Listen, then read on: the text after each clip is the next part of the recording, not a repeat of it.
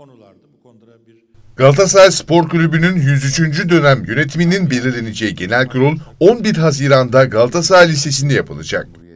Olağanüstü seçimli genel kurulda kongre divan heyetinin oluşturulup açılışının yapılmasının ardından seçimlere geçilecek. Oy kullanma hakkına sahip 8862 üye Sarı Kırmızılı Kulübün yeni başkanını belirlemek için sandık başına gidecek. Galatasaray'ın olağanüstü genel kurulunda Dursun Özbek'le Eşref Hamamcıoğlu başkanlık yarışı verecek. Genel kurul üyeleri Dursun Özbek için kırmızı, Eşref Hamamcıoğlu için de sarı renkte basılan oy pusulalarını kullanacak. Oy kullanma işlemi saat 15'te sona erecek.